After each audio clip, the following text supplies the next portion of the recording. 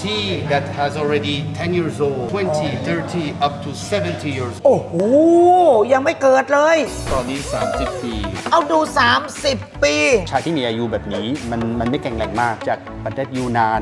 ไปเที่ยวไปที่มาเลเซียอ๋อมาเลเซียไปที่ฮ่องกง เราไปซื้อที่เป็นห้องประมูลที่ฮ่องกง เอามาที่เมืองไทย เป็น personal collection นี่ ชา Personal นี่มัน collection เดินทางแทบจะทั่วไปหมดแล้ว รสชาติมัน สุดยอดถ้วยชานี้ต้องอุ้มแบบประคบประหงมเลยนะ เพราะถ้วยชานี้กี่ปีนะ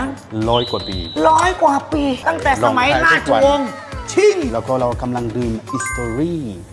history ต้องเป็นกาเล็กๆ เพราะว่าเราจะใช้จำนวนชาเยอะอ๋อจำนวนน้ำน้อย เราต้องดึงดูดรสชาติอะ flavor นิดหชาน่อยผูเอ๋อเนี่ยดีมาก มันทำให้ลดความอ้วน ลดไขมัน น้ำที่ใช้ก็ต้องเป็นน้ำแร่อุณหภูมิ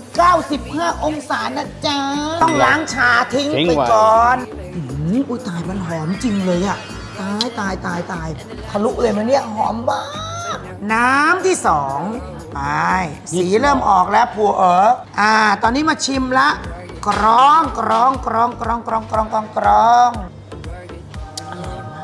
หอมมาก